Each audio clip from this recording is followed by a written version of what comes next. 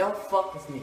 Have you ever had a dream that that you um you have you could do so you you do you could you you want you want him to do you so much you could do anything?